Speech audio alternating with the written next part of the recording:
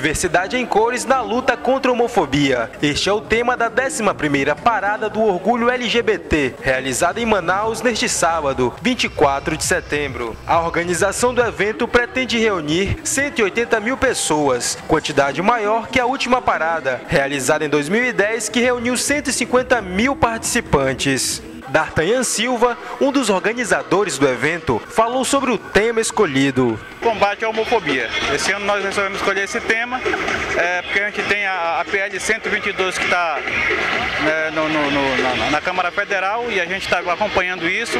E aqui em Manaus não poderia ser diferente. A presidente da parada LGBT em Manaus, Bruna Laclose, afirmou que o estado do Amazonas ainda é muito homofóbico. A gente aproveita o brilho.